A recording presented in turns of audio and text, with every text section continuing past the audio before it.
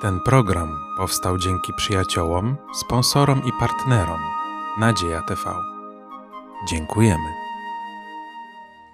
Dzień dobry, witam w Kościele Adwentystów Dnia Siódmego w Podkowie Leśnej i zapraszam na studium Biblii zatytułowane Służebne przywództwo oparte na piątym rozdziale pierwszego listu Piotra.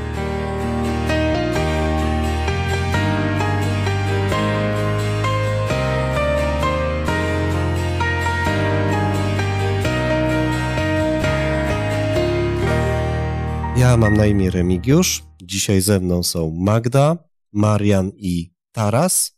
I tak jak wspomniałem wcześniej, będziemy dzisiaj na podstawie piątego rozdziału pierwszego listu Piotra rozmawiali o starszych zboru, o młodszych. Będziemy rozmawiali o służbie a, i przywództwie opartej na służbie, ale także o ciekawych obietnicach, które Bóg daje właśnie poprzez tekst listu Piotra. Zanim zaczniemy rozmawiać, zanim zaczniemy dyskutować, zanim zaczniemy czytać Biblię, pomodlimy się o Boże prowadzenie, o to, aby to studium było inspirowane przez właśnie naszego Boga. Łaskawy, dobry Boże, tak bardzo Ci dziękujemy za to, że możemy po raz kolejny studiować Twoje słowo. Prosimy, Panie, abyś obdarzył nas w szczególny sposób Twoją mądrością, abyśmy mogli zrozumieć ten temat, który będzie dzisiaj przez nas poruszany abyśmy mogli przekazać to w właściwy sposób. Dziękujemy za Tobie, że jesteś dobrym Bogiem. W imieniu Jezusa Chrystusa. Amen.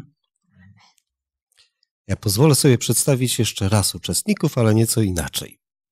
Magda była starszym zboru. Zastępcą. Zastępcą, ale to określenie starszy, o którym za chwilkę będziemy czytali, na pewno do ciebie ze względu na funkcję pasuje.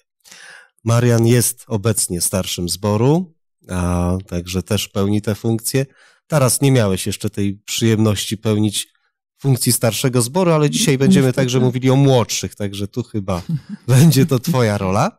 E, ja pełnię służbę pastorską, ale także miałem w swoim życiu wielki przywilej być starszym w kilku zborach i no, pełnić także tę służbę, bo o tej służbie także właśnie dzisiaj będziemy mówili. Powiedzcie mi, no myślę, że to jest przede wszystkim chyba pytanie do Tarasa, ale myślę, że pozostali też pomogą. Jakie cechy powinna mieć osoba, którą można nazwać dobrym duchowym liderem? No przede wszystkim myślę, że ten przywódca, on powinien być oddany całkowicie tej wizji, mieć taką wizję, cel w tym, co robi, co planuje, co zamierza wypełnić i to chyba sedno tego. Mhm, czyli dobry duchowy lider to ten, który wie, w którym kierunku tak. zmierza, tak? tak? Dobrze. Czy jeszcze jakieś inne cechy? Myślę, że lidera? dobry duchowy lider przede wszystkim musi mieć y, wiarę. Mhm. Musi mieć kontakt z Bogiem i musi mieć ten kontakt każdego dnia. Bez tego po prostu w którymś momencie się zatrzyma i już nie będzie przywódcą. Mhm, czyli teraz położył akcent na słowo lider, Magda na słowo duchowy. Tak? I połączenie tych dwóch cech tworzy duchowego lidera. A czy jeszcze jakąś cechę? A ja bym dodał jeszcze jedną, mhm. e, która wynika już bezpośrednio z tego, e, z tego analizowanego przez nas fragmentu, który będziemy analizować, e, że mamy strzec tego stada, które nam jest powierzone mhm. e, z własnej woli, a nie z przymusu. O, bardzo ciekawe spostrzeżenie. Przejdziemy do tych szczegółów wkrótce. Wyobraźcie sobie, że jesteście w jednym ze zborów opisywanych przez Nowy Testament dwa tysiące lat temu, że obserwujecie starszego zboru albo pełnicie taką funkcję. Jak sądzicie, Jakie radości, jakie problemy mieli starsi zboru 2000 lat temu, jakie wyzwania? Spróbujmy się tak wczuć właśnie w bezpośrednich adresatów tych słów, które pisał Piotr, które za chwilkę będziemy czytali. Na pewno było im super, bo mieli e, wielką radość widzieć, jak Bóg po mhm. prostu niesamowicie się manifestuje. E, no, tak często a z drugiej strony mieli taką różnorodność. W tych zborach przecież to były wszystkie możliwe języki, kultury kosmicznie różne i to jest wyzwanie. Jak, jak sprawić, żeby ludzie się rozumieli, kiedy mają kultury, które są wręcz wbrew sobie, tak? Tak jak Żydzi nawróceni patrzyli na nawróconych pogan, no i no, to było wyzwanie, żeby wykrzesać względem siebie jakąś miłość, braterstwo, cierpliwość, no i nawet zjeść posiłek obok siebie, tak? Nieść się ponad kulturowe uprzedzenia, tak? No. Mhm. Czy jeszcze coś było takiego, co mogło zwracać uwagę właśnie w tamtych zborach, w tamtym czasie? Ja myślę, że musimy pamiętać o tym, że e, wtedy te zbory e, żyły wśród prześladowań.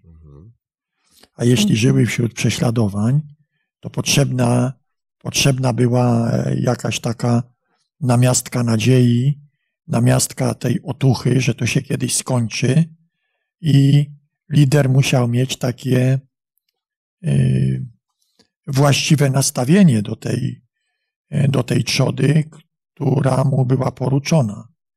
Dlatego y, Piotr tutaj mówi, żeby zostawić próżne ambicje, zostawić ten brudny zysk i żeby paść trzodę z własnej nieprzymuszonej woli, bo nawet jest w Polsce takie przysłowie, że e, z niewolnika nigdy nie będzie pracownika. Więc jeśli robimy coś z dobrej woli, bez przymusu, to oddajemy wszystko, co mamy, żeby to zrobić jak najlepiej. I od tych liderów tego się wymagało wtedy, bo e, oni byli ciągle pod, e, pod zagrożeniem właśnie utraty życia. Także były te radości, o których mówiła E, siostra Magda, ale było, były i zagrożenie utraty życia, czyli były troski, kłopoty i smutki z tego tytułu, że było się starszym. Oni też musieli być w stanie jakoś przeżyć to, tak. kiedy e, kolejni członkowie zboru ginęli, tak? Mhm. Trafiali do więzienia, musieli e, osobiście się z tym pogodzić, co nie jest łatwe, bo zawsze mieli nadzieję, że Bóg zainterweniuje, tak? A potem się dowiadywali, że ktoś zginął. I w tym wszystkim ich wiara y, musiała pozostać silna. Mhm. Nie wiem, jakbym ja na ich miejscu się czuła, gdybym traciła najlepszych przyjaciół. Myślę, że dobrym przykładem tego, co się działo w tamtych czasach pierwszego wieku w zborach, y, są różne listy Pawła, apostoła Piotra, Zarówno czytamy o tych listach do zboru mniejszej Azji i tak naprawdę pokazują nam, e, jaki problem mieli, że był problem duchowy, różne kłótnie i też dla takich starszych zboru nie było to łatwe. Tak sumując, to co powiedzieliście o starszych zborów sprzed dwóch tysięcy lat, to z jednej strony to były wielkie radości, bo te zbory codziennie rosły, codziennie czy ktoś pojawiał się nowy, z drugiej strony, no właśnie takie problemy wewnętrzne, czasem egzystencjalne, kiedy to na, na zborach leżała, leżał ciężar opieki nad wdowami, nad osobami ubogimi, ale także te niebezpieczeństwa, bo oprócz tego, że starsi zbory obserwowali e, prześladowania ich e, najbliższych, ich przyjaciół, to wtedy, kiedy przychodziły prześladowania, żołnierze rzymscy w pierwszej kolejności przychodzili do domów starszych zboru. Mhm. Niejednokrotnie stawiali ultimatum. Albo wydajesz księgi, imiona twoich y, przyjaciół, chrześcijan, albo giniesz. Myślę, że podobne problemy mm, można spotkać i dzisiaj w służbie starszych zboru. Oczywiście nie żyjemy w e, miejscu, w którym grozi nam śmierć za wyznawanie naszej wiary to jest nam oszczędzone, ale wiele z tych problemów jest tożsamych i dzisiaj. Chciałbym, abyśmy odnieśli się teraz do słów, które napisał apostoł Piotr, słów rady właśnie do starszych. Przeczytajmy pierwsze cztery wiersze piątego rozdziału pierwszego listu Piotra.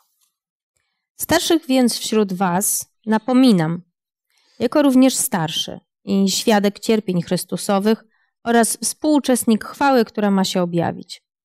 Paście trzodę Bożą, która jest między wami, nie z przymusu, lecz ochotnie, po Bożemu, nie dla brzydkiego zysku, lecz z oddaniem. nie jako panujący nad tymi, którzy są wam poruczeni, lecz jako wzór dla trzody. A gdy się objawi arcypasterz, otrzymacie niezwiędłą koronę chwały. Dziękuję bardzo. Powiem Wam szczerze, że e, zawsze, gdy wracam tych, do tych słów, budzi tutaj, budzą te słowa, ta wypowiedź wiele moich pytań, ale na szczęście dzisiaj to ja zadaję pytania i Was poproszę o pomoc. E, pojawia nam się motyw, e, często pojawiający się w Piśmie Świętym, porównania starszych do pasterzy.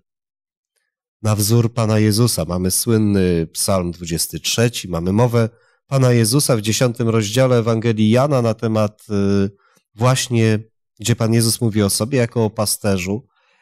No, gdyby, gdy popatrzymy na służbę pasterza owiec, tak jak sobie wynotowałem, to, to głównym zadaniem pasterza było karmienie owiec, ochrona ich zdrowia i życia, leczenie, dbanie o dobre rozmnażanie y, stada, no i korzystanie z potencjału, czyli mleka, wełny, wykorzystywanie tego, co posiadały owce.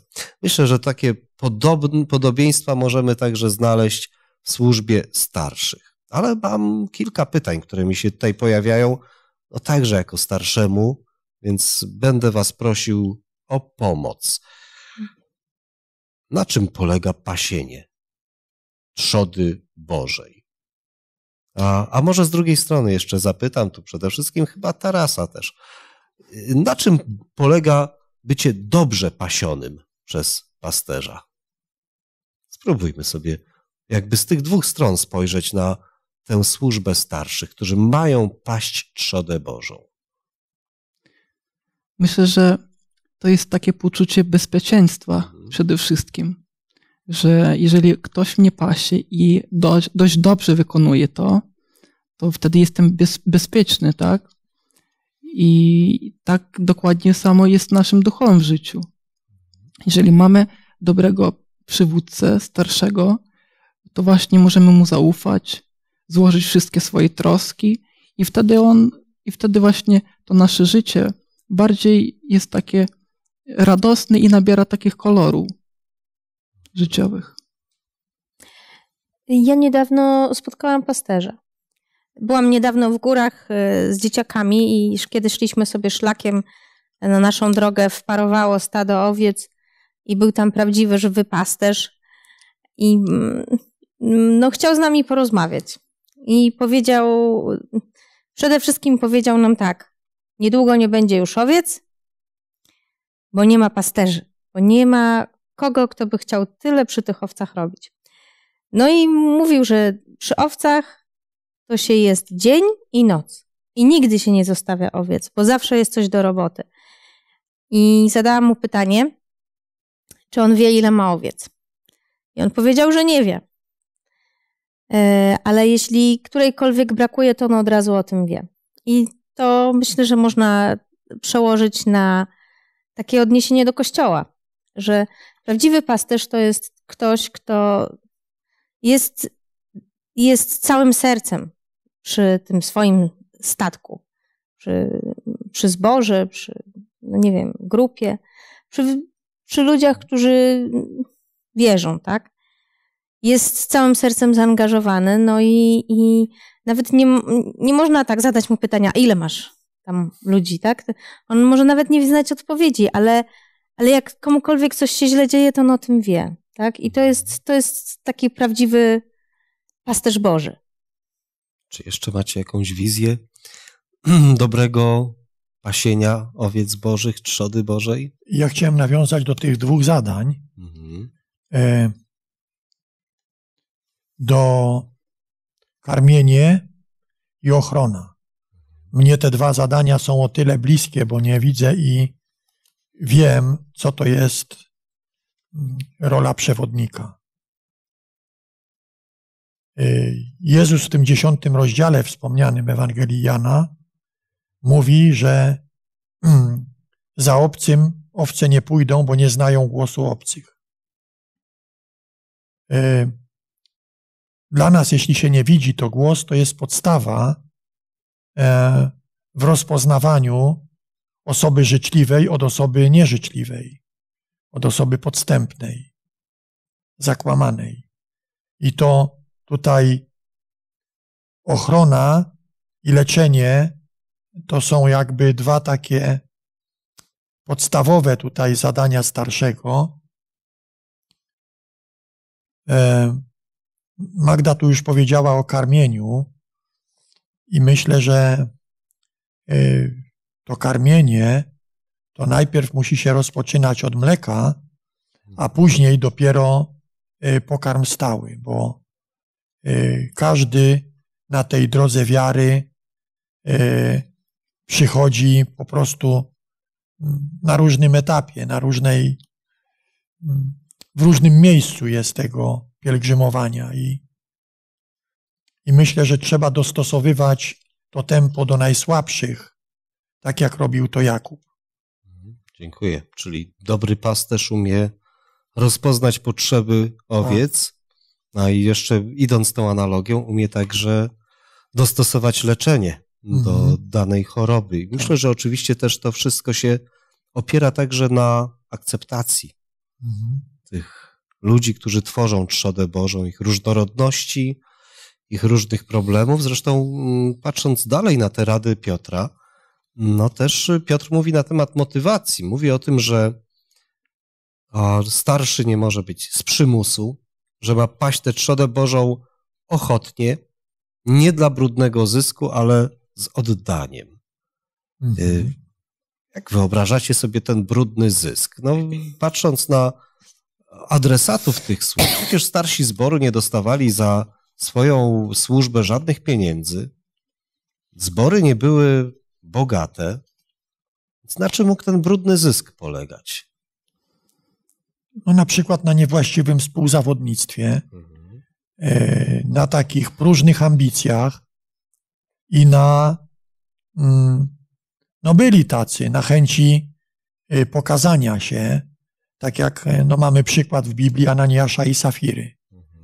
Y, powodowani zazdrością, że inni składali do stóp apostołów wszystko, bo tak jest napisane w dziejach apostolskich, więc oni też postanowili zrobić podobnie, z tym, że okłamując y, Pana i apostołów i część zatrzymali sobie, za co ich czekała, za co zginęli zresztą. Nie wiem, jak było wtedy, ale myślę, że podobnie. Jak czytamy Ewangelię, to widzimy, że tak było, tak? Rabin, kłaniamy się rabinowi, rabin, rabin, o tak. A teraz jak jest w odniesieniu do duchownych? No też tak jest, tak? Jeszcze zależy, na przykład w Polsce to zależy od regionu kraju, ale generalnie jest coś takiego, że no, duchowny, o, tak, o, ten przywódca to jest taki człowiek, szacuneczek, tak, kłaniamy się, słuchamy, ktoś inny chce się odezwać, no, powiedzmy, że to jest osoba, która nie cieszy się autorytetem, to jej się nie słucha, nie, czeka się, aż wypowie się ten przywódca. No, myślę, że to jest niebezpieczne. Łatwo jest człowiekowi się zgubić i pomyśleć, no, rzeczywiście jestem świetny. Myślę, że problem rodzi się wtedy, kiedy człowiek myli powołanie z zawodem takim mhm. typowym. I wtedy, kiedy człowiek zmierzał w tej służbie e, według ciała, tak? Prowadzi tą służbę według ciała, a nie według duchu. duchu. I myślę, że trafną taką odpowiedź na to pytanie daje Marcin Luther. Za swojego czasu powiedział coś takiego, że chrześcijanin, on nie jest do niczego zobowiązany, nic nie musi, ale jednocześnie on jest powołany do tego, aby w Chrystusie iść i służyć wszystkim we wszystkim. Dla wszystkich we wszystkim. I myślę, że to jest też takie zrozumienie tego, w jaki sposób mamy służyć nie z przymusu, bo jeżeli jesteśmy w Chrystusie, to jesteśmy wolni oczywiście, tak? Ale skoro jesteśmy w Chrystusie, to powinniśmy korzystać z tej wolności, tak? I tym samym służyć e, dla innych, pełniąc taką funkcję. Tak, no, Kościół nie może być miejscem spełnienia niezaspokojonych ambicji, których być może nie udaje się zrealizować w innych dziedzinach życia, może w swojej zawodowej, rodzinnej, i nagle możliwość e, pełnienia chociażby funkcji starszego daje możliwość pokazania się, już tak mówiąc kolokwialnie, zrobienia kariery. Kościół nie jest miejscem do robienia kariery, ale do służby. I w tym kolejnych słowach też Piotr bardzo ciekawie reguluje wzajemne relacje pomiędzy starszymi i młodszymi, opiekunami i podopiecznymi, kiedy pisze, że starsi mają pełnić swoją służbę z oddaniem i nie panować nad tymi, którzy zostali im poruczeni. Mhm. No, jeszcze zawieszam tutaj celowo głos, bo ostatnia część tego trzeciego wiersza jest jeszcze innym problemem. Ale tu jest bardzo ciekawe, bo to jest, y, Piotr też zawiesił to, mhm. bo w Brailu to tu ma przecinek dał taki, e, bo tu chodziło o, ucis o uciskaniu wtedy tych e, gmin, e, na których działali starsi i niektórzy to robili, ale Piotr po przecinku przeciwstawia tą postawę ucisku i gnębienia, wyzysku, E, mówi, żeby ci ludzie byli żywymi przykładami dla stada. Żywymi chwilkę, przykładami za dla o tym stada. porozmawiamy. Za chwilkę o tym porozmawiamy. Nasze studium nosi tytuł Służebne przywództwo. Jak sobie to wyobrażacie? Właśnie takie dobre relacje między starszym, a tymi, którzy są nazwani podopiecznymi, tym poruczonym starszym. Jak wyobrażacie sobie te idealne relacje między starszym zboru, pastorem, a właśnie tymi, którzy są ich podopiecznymi. Tak, żeby to było służebne przywództwo. Służebne przywództwo to jest dla mnie e, takie przywództwo, kiedy patrzysz na ludzi i myślisz, co zrobić, mhm. żeby ten, ten i ten, i tak po kolei, każdy z nich e, mógł wzrosnąć i zbliżyć się do Boga. Jednych trzeba zachęcić, żeby wystąpili naprzód, innych zachęcić, żeby się wyciszyli, e, innych po prostu wspierać. Myślę, że to jest w ogóle e, niesamowicie trudne zadanie, ale e, niesamowicie fajne. E, ta odpowiedź na to Twoje pytanie znajduje się w wersecie e, tutaj piątym i szóstym, gdzie Piotr mówi, żebyśmy wszyscy zaś wobec siebie przeoblekli się w szatę pokory w szatę pokory. Czyli pokora to inaczej uniżenie, uległość, co niektórzy mylnie e, odnoszą do pantoflarstwa. Ale Bóg, e, tu jest, Piotr mówi wprost i cytuje Stary Testament, że Bóg przeciwstawia się pysznym, a pokornym daje łaskę. I cytuję Księgę Przypowieści, trzeci rozdział. E, Pokora to jest takie dzisiaj mm, niemodne pojęcie, bo pokora to uważanie kogoś za wyżej stojącego od siebie, bo tak Jezus radził. Kto chce być pierwszy, niech będzie ostatni.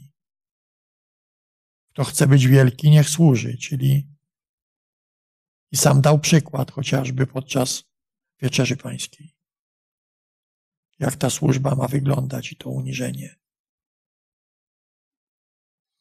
Ale dla mnie ten szósty wiersz jeszcze, ta obietnica.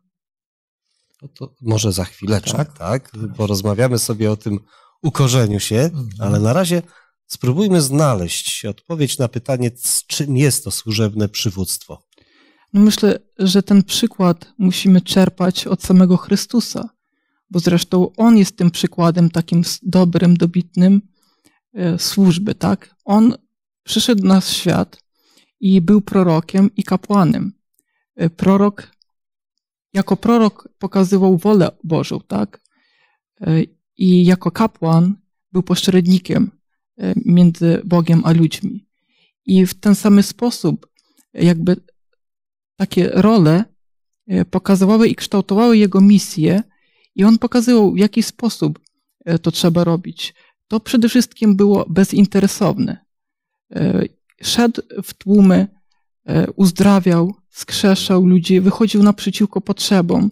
I to, było, to były nie tylko potrzeby te takie biologiczne, typowo ludzkie, cielesne, lecz też e, Jezus Chrystus myślał przede wszystkim o duchowych potrzebach, o uzdrowieniu od grzechu, żeby człowiek porzucił to, co może od dawna już tak otrzymało duchowo. I to myślę, że jest właśnie ten taki wzór służby. Na pewno, na pewno w Panu Jezusie mamy najlepszy wzór. Możemy wiele wątków z Jego służby przytaczać tutaj. Właśnie umywanie nóg, akceptację dla uczniów, tego Jego najbliższego stada, które było dosyć takie niesforne. Prawda? Chyba każde stado jest takie. Ma swoje tak, indywidua i swoje, i swoje problemy i, i czasami dokuczliwe potrafi być, nawet samemu pasterzowi trzeba schować gdzieś to własne ja i, i skupić się na rozwiązaniu problemu, a nie na własnych zranionych uczuciach, ambicjach czy, czy postrzeganiu samego siebie. Mm -hmm. To jest mhm. naprawdę duża, duża sztuka być takim duchowym liderem właśnie na zasadzie służebności. Schować przekonanie o tym, że wie się lepiej niż inni, schować przekonanie o tym, że ma się jakąś władzę, bo władza to jest także ponoszenie odpowiedzialności.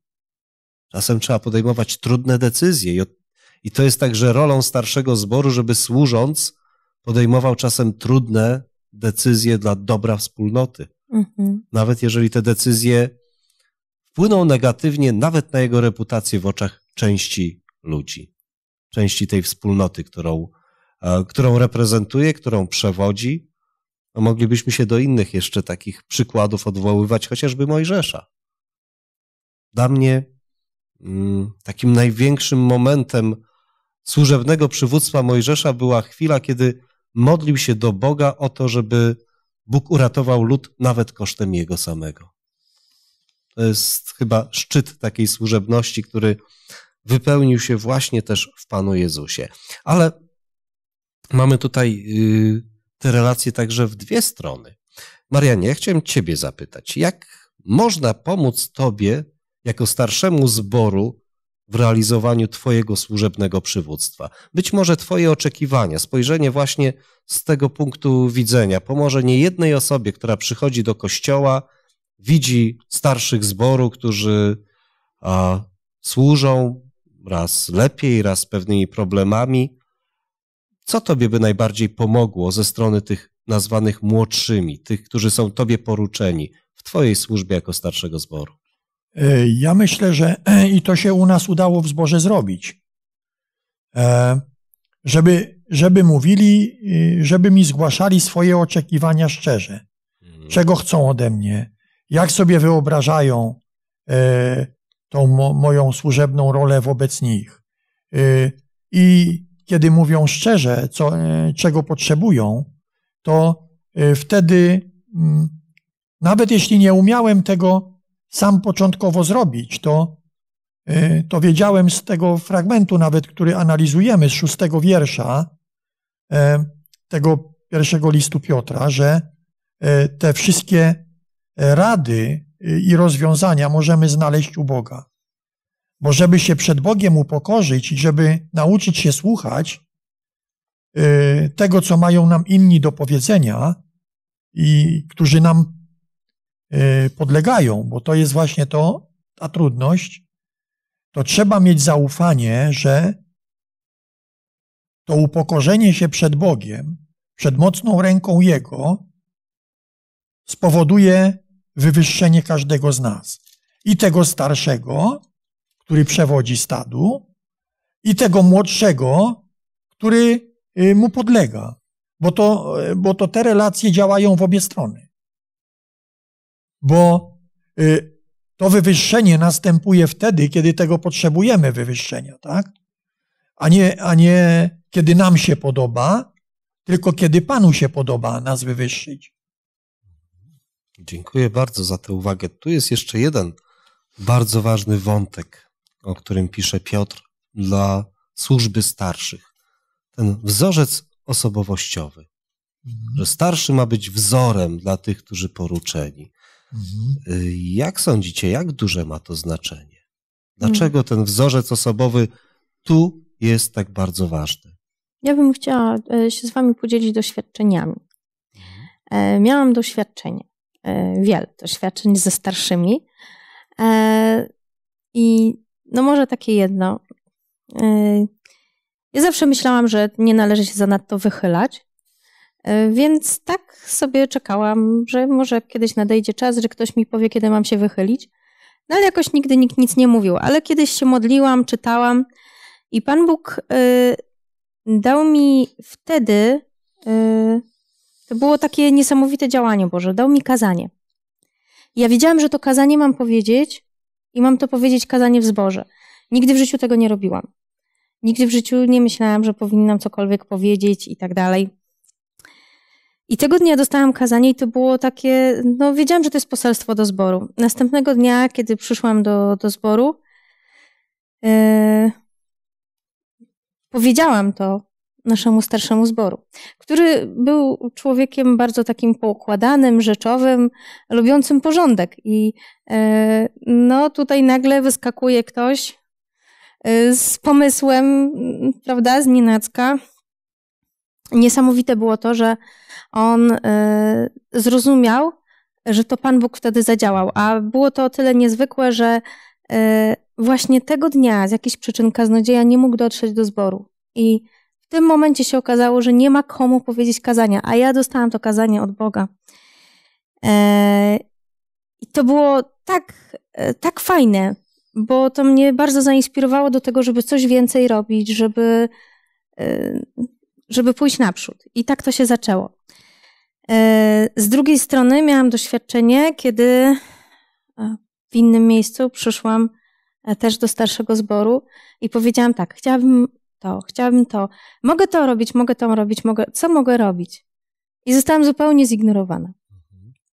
Więc y, powiem tak, y, ten, druga sytuacja zadziałała tak, że y, no tak oklapłam, tak?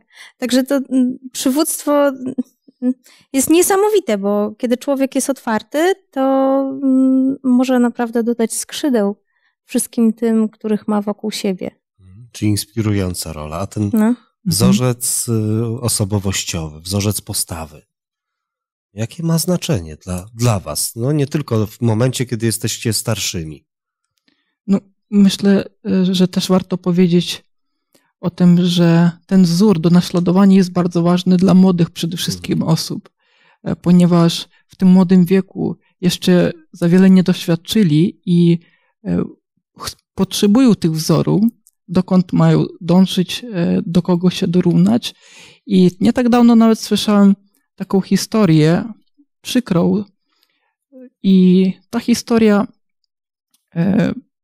po prostu potoczyła się w takim kierunku, że E, osoba, która była powołana wcześniej na stanowisko starszego, używa po prostu autorytetu w pewnej sytuacji wobec młodszego. I powiem szczerze, że sytuacja i atmosfera, która teraz jest e, w tej wspólnocie, nie jest najlepsza. Stracił e, wszelki autorytet, powagę i to się odbija bardzo mocno na, na wspólnocie i na, przede wszystkim na tej młodej osobie, która ma do czynienia z tym.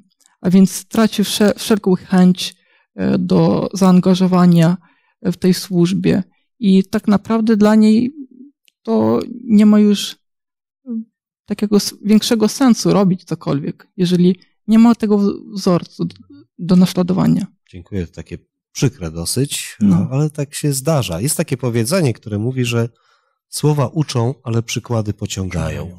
Prawda? I w służbie każdego lidera duchowego to jest ta spójność postaw i słów jest ogromnie ważna. Oczywiście można schować się za alibi, które czasami się tak pojawia.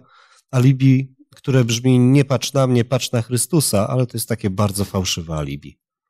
Bo jednak mhm. a to, co widzimy i to, co obserwujemy na co dzień, jest czymś konkretnym. I to, jak ktoś żyje zgodnie z zasadami, o których mówi, jest naprawdę bardzo mocno autorytatywne. E, kończąc ten wątek, bo kończy się niemalże nasz czas też, dotyczący starszych, chciałbym przeczytać słowa z listu do Hebrajczyków, 13 rozdziału, 17 wiersza, taką radę e, dla podopiecznych. Bądźcie posłuszni przewodnikom waszym i bądźcie im ulegli. Oni to bowiem czuwają nad duszami waszymi i zdadzą z tego sprawę. Niechże to czynią z radością, a nie ze wzdychaniem, gdyż wyszłoby to wam na szkodę.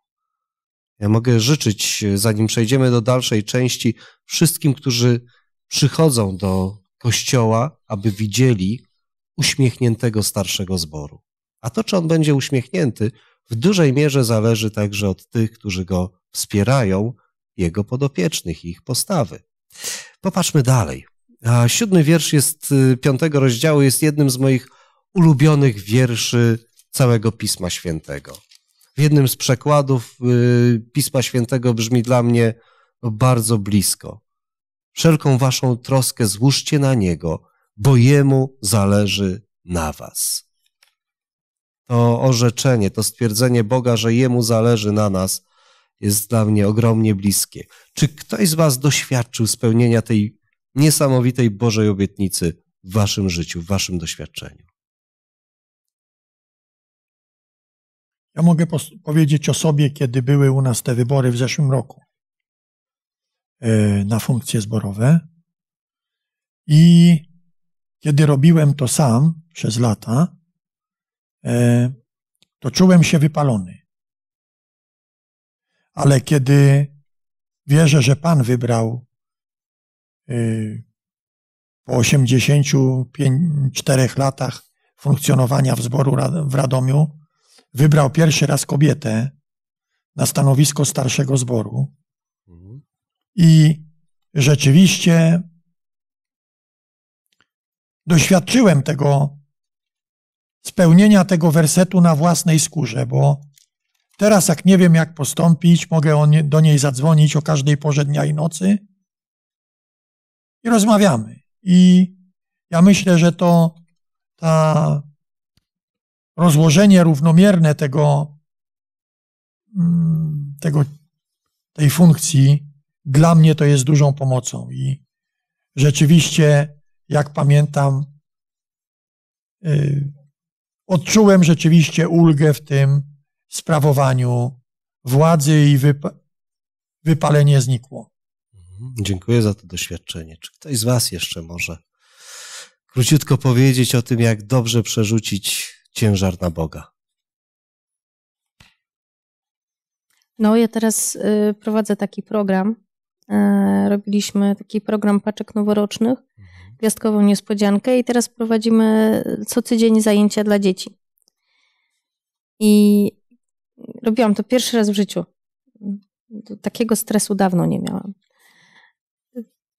Tak byłam zestresowana, że trudno mi było w ogóle klarownie myśleć. I w końcu zaczęłam po prostu mówić: Pani Boże, ja nie dam rady. Daj mi pomocników. Daj mi pomocników. Nie wiem skąd. Daj mi pomocników. I kiedy poszłam na pierwsze zajęcia, ja nie wiedziałam, czy ja będę miała tych pomocników, po prostu poszłam i wiecie co? Pan Bóg sprowadził y, trzy osoby, które po prostu były tam i cały czas pomagały, które co więcej przychodzą i ja ich nie muszę jakoś prosić, one są chętne. No, Pan Bóg naprawdę odpowiada, kiedy wołamy i przysyła mhm. pomoc. To, to jest jedyny sposób, żeby, żeby coś robić, to złożyć na Niego troskę, bo, bo inaczej nie damy rady. W sprawach duchowych my nie damy rady nic sami podźwignąć warto wypróbować tę obietnicę Bożą. Złożyć wszelkie nasze problemy na Niego, bo Jemu na nas zależy. Mhm. W tym rozdziale pojawia się jeszcze wątek lwa ryczącego i polującego na nas, tego ostrzeżenia przed tym lwem, czyli diabłem, który próbuje nas a, przestraszyć, odseparować od Boga i pochłonąć, ale Jestem pewien, że kiedy będziemy blisko naszego arcypasterza, bo tak pięknie Piotr nazwał Pana Jezusa, lew będzie się bał do nas podejść. Podczas dzisiejszego studium przypomnieliśmy sobie cechy duchowego lidera. Rozmawialiśmy właśnie o tych wzajemnych relacjach pomiędzy starszymi a podopiecznymi, o tym, co mogą dać dobrzy duchowi liderzy podopiecznych, ale także jak podopieczni mogą wspierać swoich duchowych liderów. Mówiliśmy o pokorze, mówiliśmy o